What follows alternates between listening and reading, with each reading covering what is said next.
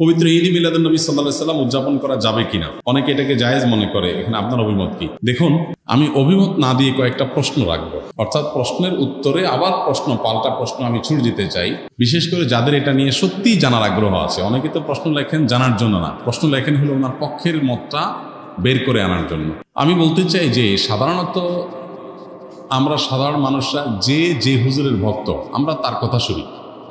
যে হুজুর মিলাদুল নবীর পক্ষে তার ভক্তরা মিলাদুন্নবীর পক্ষে কথা বলে এবং সেরকম দলিল খুঁজে বের করে সোশ্যাল মিডিয়াতে সেটা নিয়ে লেখালেখি করে। আর যে হুজুর মিলাদুন্নবীর বিপক্ষে, ওনার ভক্তরা মিলাদুন্নবীর বিপক্ষে তারা ক্যাম্পেইন করে, কাজকাম করে। আমার কথা হলো যে, আপনি হুজুরদের পক্ষ, বিপক্ষ না নিয়ে কয়েকটা প্রশ্নের উত্তর খোঁজার জন্য আপনি নিরপেক্ষভাবে চেষ্টা করেন। আপনি নিজে একটু সচেতনভাবে, সতর্কভাবে অনুসন্ধানের দৃষ্টি নিয়ে এই প্রশ্নগুলোর উত্তর খোঁজার চেষ্টা করেন। আপনি শুধু উত্তর খোঁজার যদি সিরিয়াস চেষ্টা শুরু করে দেন এবং নিরপেক্ষভাবে চেষ্টা করেন, আমার বিশ্বাস যে আপনাকে আল্লাহ তালা হেদায়ত এবং সঠিক পথ যেটাই সেটা আল্লাহ তালা আপনাকে দেখিয়ে দিবেন। শর্ত হলো আপনি আগে গিয়ারটা নিউট্রালে এনে তারপরে খুঁজতে হবে। আমরা যারা গাড়ি চালাতে জানি, তারা জানি যে গিয়ার আপনার ম্যানুয়াল গিয়ার সাধারণত গাড়ি। এটা আপনার নিউট্রালে থাকার পর স্টার্ট দিলে গাড়ি স্টার্ট হবে। গিয়ার একটা দিয়ে রেখে দিয়েছেন আগে। এরপর আপনি স্টার্ট দিচ্ছেন। তাহলে গাড়ি কি হবে না? স্টার্ট হবে না। গাড়ি দৌড় দিবে লাভ দিবে। সেটা সঠিকভাবে সার্ভিস দিবে না। এখন আপনি নিজে আগে মিলাদুল নবীর পক্ষের অথবা বিপক্ষের, একটা গ্রুপের থেকে এরপরে বলতেছেন হ্যাঁ এ ব্যাপারে আপনি কি বলেন? করোনা দিছে কি আছে? আপনি জানার চেষ্টা করছেন। এইভাবে আপনি আসলে সত্য জানতে পারবেন না। সত্য জানতে হলে আপনাকে নিউট্রালে থাকতে হবে যে, ঠিক আছে, আমি এটা নিয়ে অনুসন্ধান চালাই, পড়াশোনা করি স্টাডি করি এবং আমার স্টাডির পর নিরপেক্ষভাবে সত্যিটা জানার জন্য আমি চেষ্টা করি। আল্লাহ তালার কাছে দোয়া করি, আল্লাহ যেন আমাকে হেদায়ত করেন গাইড করেন, তাহলে আপনি ইনশাল্লাহ সঠিক পথ পাবেন। এবার আসেন প্রশ্নগুলো কি কি? এক নম্বর প্রশ্ন হলো, নবী করিম সাল্লাহ সাল্লামের যেদিন জন্ম হয়েছে মিলাদুল্নবী নবী মানে হলো নবী সাল্লাহ সাল্লামের জন্ম, এটাকে কেন্দ্র করে উদযাপন, আনন্দ ইত্যাদি। প্রশ্ন হলো নবী করিম সাল্লাহ সাল্লামের যে তারিখে জন্ম হয়েছে, সেই তারিখটা কি চূড়ান্ত এবং অবিতর্কিত কিনা? অর্থাৎ অমুক তারিখে তিনি জন্মগ্রহণ করেছেন। ইতিহাসবিদগণ এ ব্যাপারে একমত কিনা বা হাদিস গ্রন্থগুলোতে এটা সুস্পষ্ট আসছে কিনা?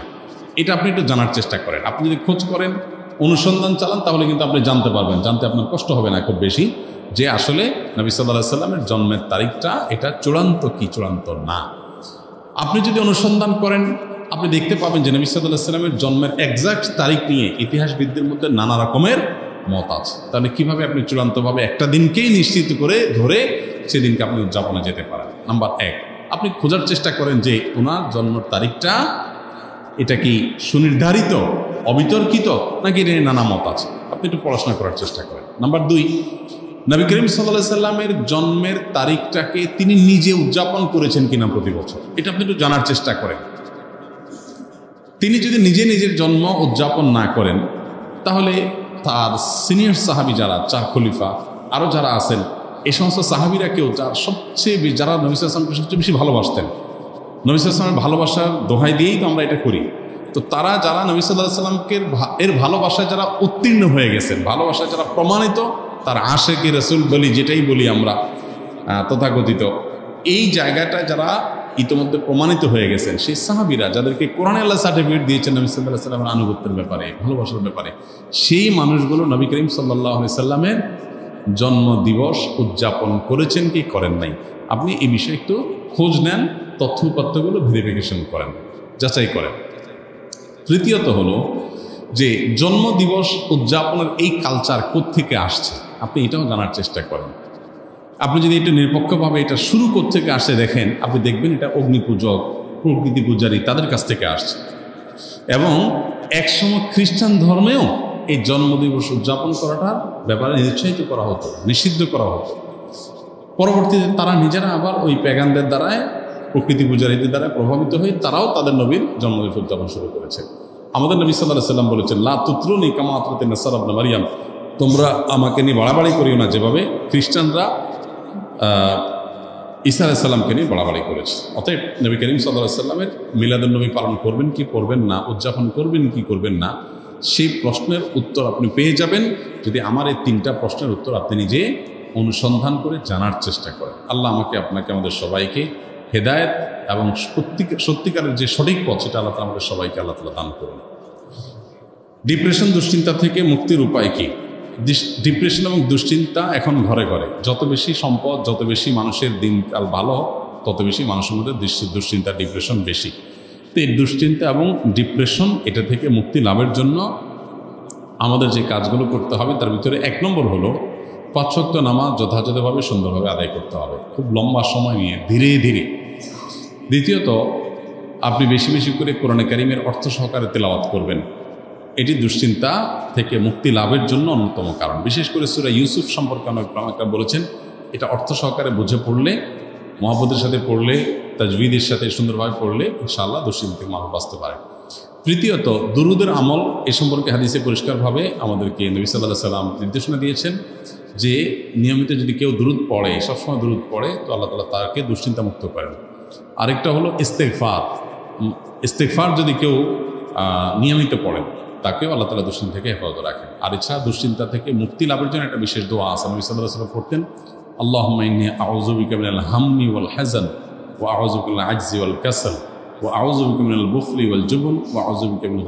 ও ও এই দোয়ার প্রথম অংশ যেটা আল্লাহ মিনাল ওয়াল আল্লাহ আপনার কাছ থেকে দুশ্চিন্তা, পেরেশানি, ডিপ্রেশন থেকে আমি পানা চাই। এ দোয়া বিশেষ করে পাঠ করবেন। আর এমনিতে নবী সাল্লাহ সাল্লাম নিয়ম ছিল কানাই যা হাজাবাহ আমরুল ফাজা আইরাসাল্লাহ কোনো বিষয়ে যখন তিনি পেরেশানিতে পড়তেন, নামাজে চলে যেতেন দুরাকাত নামাজ পড়তেন। আর এর বাইরে বিশেষ করে ভোর রাতে তাহাজুদের সময় উঠে নিরিবিলি আল্লাহর সাথে একটু মন খুলে কথা বলেন, ইনশাআল্লাহ আল্লাহ তালা মানসিক অশান্তি দূর করবেন। ঈদ মিলাদ, ঈদ মিলাদুলনবী ও সিরাতুলনবীর মধ্যে পার্থক্য কী? মিলাদুলনবী মানে হলো নবী সাল্লাহ সাল্লামের জন্ম আর সিরাতুল নবী মানে হল নবী করিম সাল্লাহ সাল্লামের জীবনী জীবনচরিত তো সিরাতুল নবীর মধ্যে নবী সাল্লাহ সাল্লামের জন্ম, মৃত্যু, শৈশব, বেড়ে ওঠা, আল্লাহর আদেশে নিজের জীবনের সব বিষয়গুলো এর মধ্যে আছে। সিরাতুল নবী মানে জীবন জীবন ইতিহাসের মধ্যে সবই আছে। আর মিলাদুল নবী হলো সিরাতের অর্থাৎ নবী সাল্লাহ সাল্লাম পুরো জীবনের একটা অংশ। এটা হলো একটা পার্থক্য। আর একটা বিষয় হলো যে মিলাদুল নবী এটা আসলে উদযাপন বা অনুসরণ করার বিষয় না। নবী সাল্লাহ ইসলামের জন্মকে আমরা চাইলে অনুসরণ করতে পারব না যে উনি যেভাবে জন্ম হয়েছেন, যে তারিখে হয়েছেন, ওই তারিখে আমি হব। এরকম কোনো অপশন নাই তো। কিন্তু সিরাতুল নবী যেটা, এটা কি করা যায়? অনুসরণ করা যায়। নবী সাল্লাহ সাল্লামের জীবন চরিত দেখে দেখে সেই অনুযায়ী আমি আমার জীবনকে গঠন করলাম। তো এটা হলো মূলত আমাদের জন্য গুরুত্বপূর্ণ। আমাদেরকে নবী সাল্লাহ সাল্লামকে আল্লাহ দিয়েছেন তাকে অনুসরণ করার জন্য। তাকে অনুসরণ করার নামগন্ধ নাই, কিন্তু তার মহব্বতের দাবি করে আমি যাচ্ছে তা করে বেড়ালাম। এটা আসলে ইসলাম হতে পারে না। অতএব আমাদেরকে নবী করিম সাল্লাহ অনুসরণ করার চেষ্টা করতে হবে। আসন্না ফাউন্ডেশন থেকে সহযোগিতা পাওয়ার উপায় কি? অনেক সময় আপনাদের অফিসে কোনো সহযোগিতার জন্য যাওয়া হলে রিসিপশন থেকেই সরাসরি মানা করে দেওয়া হয়। এ বিষয়ে একটু বিস্তারিত জানতে চাই। দেখুন, আসন্না ফাউন্ডেশন থেকে ব্যক্তিগত পর্যায়ে সহযোগিতা পাওয়ার কোনো সুযোগ নেই। আমরা আসন্না ফাউন্ডেশন থেকে ব্যক্তিগত পর্যায়ে সহযোগিতা করতে পারি না। সচরাচর আমরা ব্যক্তিগত সহযোগিতাগুলোকে বিনয়ের সাথে অ্যাভয়েড করি এবং সেটা আমাদের ইচ্ছার ব্যাপার তা না, এটা নিয়ে আলাদা ফাউন্ডেশন একটা রেজলিউশন করা আছে। যে ফাউন্ডেশন প্রজেক্ট বেস কাজ করবে প্রজেক্ট বেস সচরাচর আমাদের কাজ হবে প্রজেক্ট নির্ভর কাজ। সেটা কীরকম? ধরুন আমরা বন্যার সময় সারা দেশের যেখানে যেখানে বন্যা হয়েছে সবার জন্য কাজ করব। যে কেউ বন্যার্থ, তিনি আমাদের সেবা পেতে পারেন। আমরা যখন অভাবী দুস্থদেরকে প্রশিক্ষণ দিয়ে কর্মসংস্থানের ব্যবস্থা করব সেটা আমরা সোশ্যাল মিডিয়াতে ওপেন ডিক্লেয়ার করি। যে কেউ আবেদন করতে পারেন। বিশেষ ক্রাইটেরিয়া যেগুলো উল্লেখ করা থাকে, সেই উল্লেখিত ক্রাইটেরিয়ার ভিত্তিতে আমরা প্রায়োরিটি দিয়ে নিই। ঠিক একইভাবে আমাদের প্রত্যেকটা কাজ, প্রত্যেকটা সেবা থাকে এভাবে প্রজেক্ট নির্ভর। এখানে পার্সোনাল ব্যক্তি একজন অসুস্থ হয়েছেন, তিনি একটা আবেদন নিয়ে আসছেন। এগুলো আমরা দেখতে পাই না, কারণ এটা আমরা যদি দেখতে যাই, তাহলে কথা উঠবে যে আপনি অমুকেরটা দেখেছেন, তমুকেরটা কেন দেখেন এভাবে তো আপনি একজন নিয়ে আসবেন, কালকে আরেকজন নিয়ে আসবেন তো আমরা কি সমাধান করতে পারব? এত টাকাও আমাদের কাছে নাই, আর এত লোকও বলো নাই যে আপনারা এগুলো আবার ভেরিফাই করব, ঠিক আছে কিনা কাগজপত্র। সরকারিভাবেও তো এভাবে সম্ভব না, যে কেউ ব্যক্তিগতভাবে একটা চাহিদা নিয়ে আসবে, সেটা ফিল আপ করবে, এটা কোনো সরকারও চাইলে করতে পারবে না। এই জন্য আসনা ফাউন্ডেশনে কোনো ব্যক্তিগত উদ্যোগ। আপনি অসুস্থ হয়েছেন, আপনি ঋণগ্রস্ত হয়েছেন, আপনি ব্যবসা করতে গিয়ে লসে পড়ে গেছেন, বা আপনি এই মুহূর্তে একটু পুঁজি দরকার, এ জাতীয় ব্যক্তিগত বা সিঙ্গেল কোনো সহযোগিতা আসনা ফাউন্ডেশন করতে পারে না। এ ব্যাপারে আমাদের একেবারে আইনি নিষেধাজ্ঞা আছে, অর্থাৎ এটা নিয়ে আমাদের রেজলিউশন করা আছে যে আমরা চাইলে এটা করতে পারব না। নির্দিষ্ট, খুবই একান্ত নির্দিষ্ট কোনো কেস ছাড়া। ধরেন এই যে ছাত্র আন্দোলন হতাহত হয়েছে, সেটাও আমরা প্রজেক্টে ঘোষণা করি যে, ভাই, সবাই এই ওপেন যে গুগল ফর্ম আছে, সেখানে আবেদন করবেন তথ্যগত যাচাইয়ের পর সবাই পাবেন। যাতে করে পার্সিয়ালিটির কোনো সুযোগ না থাকে। আমি আমার আত্মীয় স্বজন আসতো তাদেরকে দিয়ে দিলাম। আরেকজন পাঠিয়েছে তারা দিলাম না। এই কথা যেন না উঠতে পারে, এই জন্য আমরা এই রাস্তাই বন্ধ করে রাখি। এই জন্য আপনারা যারা ব্যক্তিগত বিভিন্ন আবদার নিয়ে আসেন, আপনাদের কাছে বিনয়ের সাথে আমরা বলি, ব্যক্তিগত আবদারগুলো আসনা ফাউন্ডেশন দেখে না, সুযোগ নেই। এটা দেখতে গেলে ফাউন্ডেশন রেখে আমাদেরকে পালায় যাওয়া লাগবে। এত মানুষ দেশে, কয়জনেরটা আমরা শুনতে যাব? আপনি বলবেন, ভাই, আপনি যাচাই করেন, আমারটা সত্য। আপনি এটা যাচাই করার জন্য আপনার এলাকায় কে যাবে?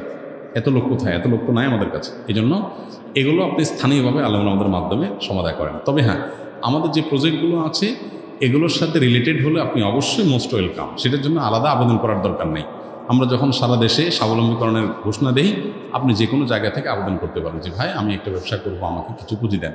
আপনি বন্যা দুর্গত হয়েছেন তাহলে বন্যা দুর্গতের জন্য আমাদের যে, যা কাজ আছে, সেখানে আপনি অংশগ্রহণ করতে পারেন, সেখানে আপনি নিজে আবদার করতে পারেন, আবেদন করতে পারেন। অটোমেটিকলি সেটা হবে। আলাদা টেবিলের নিচ দিয়ে বা বিশেষ যোগাযোগের মাধ্যমে কোনো রাস্তা আমাদের এখানে নাই। এ বিষয়ে আমরা একেবারে অন্ধ এবং বধির।